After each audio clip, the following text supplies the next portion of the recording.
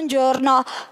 Oggi siamo qui a Fano con Filippo Borioni, curatore della mostra L'arte della diversità. Come nasce l'idea di un evento come oggi? Buongiorno a tutti gli spettatori. Eh, questa mostra è stata promossa dalla Fondazione Arca eh, ARCA è l'abbreviazione di Autismo, Relazioni, Cultura e Arte, e OSI Confartigianato Marche, che è l'associazione di categoria che eh, raggruppa le imprese balneari delle Marche che io rappresento. L'idea nasce con eh, la volontà di organizzare una mostra d'arte che mh, metta in risalto eh, quelli che sono gli artisti o le particolarità del territorio. Quindi abbiamo degli, degli artisti molto importanti come, eh, import che hanno esposto in tutto il mondo come Mario Giacomelli e Renzo Tortelli eh, che utilizzano la fotografia Ehm, ed altri, ed, altri, ed altri, due artisti che si chiamano Walter Bastari ed Edoardo che espone un bambino di 13 anni che vedete di cui i dipinti vedete qui alle, mie, alle, nostre spalle che espone per la prima volta. Ecco, abbiamo voluto comunicare eh, come ci siano differenti modi di esprimere le proprie emozioni. Cosa si spera di poter ottenere attraverso questo appuntamento? Noi speriamo di, eh, anzitutto di, eh, di far apprezzare il bello e l'arte alle persone.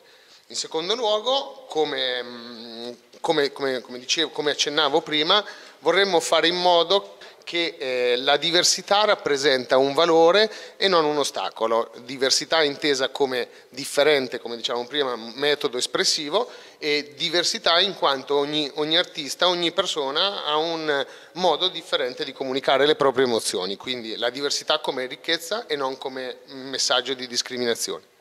Quante persone avete avuto dal giorno dell'apertura?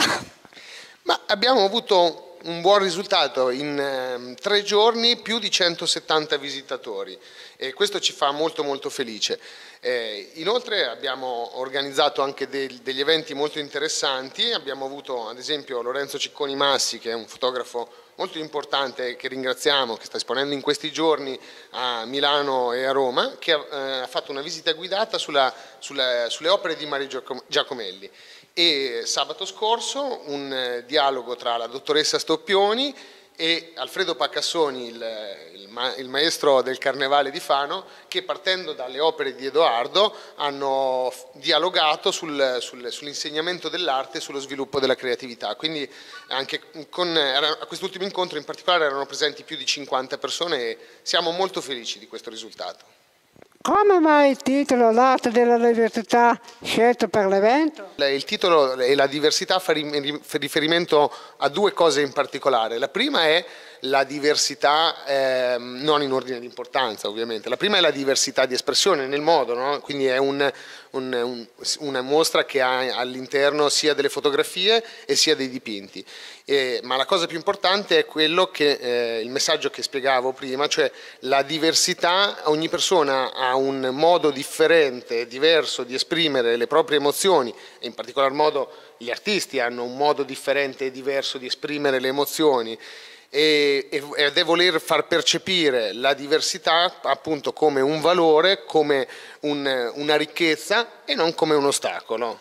Quali reazioni sono state ottenute dal pubblico finora? Erano quelle sperate?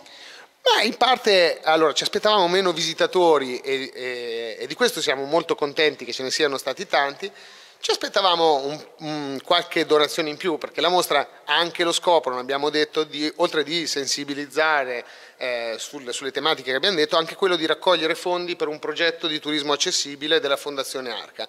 E, e quindi ci aspettavamo magari qualche donazione in più, ma non importa, l'importante, la cosa più importante è diffondere il messaggio. Come è nata l'idea di mettere in mostra i quadri di Edoardo? L'idea è nata con eh, Leonardo Pambianchi, eh, era l'ex presidente della Fondazione Arca, che purtroppo adesso non c'è più, e che è stato un grandissimo amico e una bellissima persona, di grande sensibilità.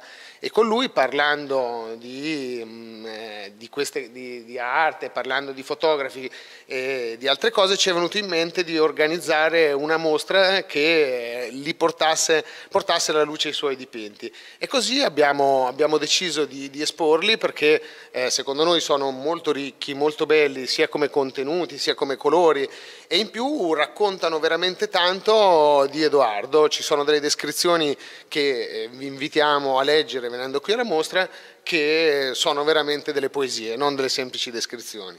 Grazie per questa intervista.